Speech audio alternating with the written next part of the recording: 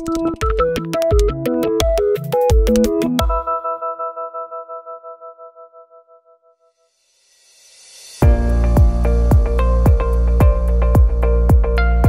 cataract surgery, we are replacing your natural lens with the artificial lens. Few people say that they don't want intraocular lens, but please understand that a modern cataract surgery is not possible without an intraocular lens because this lens helps you in seeing clearly after cataract surgery. There are different types. First is called a monofocal lens. Now, what monofocal means is a person will be able to see far things very clearly. However, for reading and near work, he will need reading glasses. Another important type is called a multifocal lens. Now, what multifocal lens means? More than one foci. So, that's why multifocal. This lens helps in seeing far.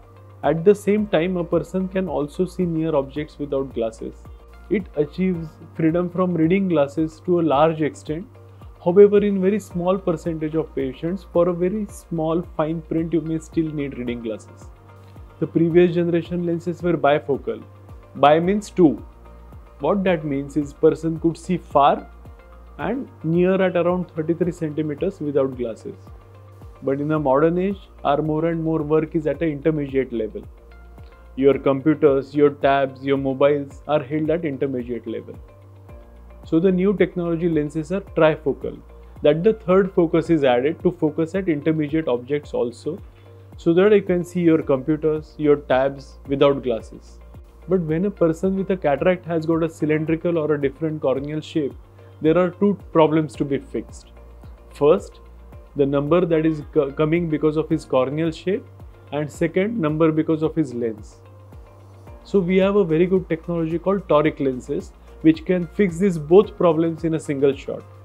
Multifocal lenses, although they are become great with a newer technology and with a modern lenses, although the halos and glares at night are very minimal, few people cannot tolerate them. In that case, we go for something called extended depth of focus lenses. This is a new generation technology which reduces halos and glares. At the same time, it gives good amount of intermediate vision. However, for very near work, you still need glasses. So, which lenses is suitable for you? Is customized for your eye? Your surgeon is the best person who determines what lens is best for you. So, your we will discuss with you in detail regarding your requirements, your work, your visual requirements, and accordingly we will suggest lenses for you. So either it would be a monofocal or a cylindrical, could be a multifocal, could be a multifocal cylindrical, or the latest generation extended depth of focus lenses. All these lenses are planned and they are customized in such a way that you are happy and you are able to see clearly after cataract surgery.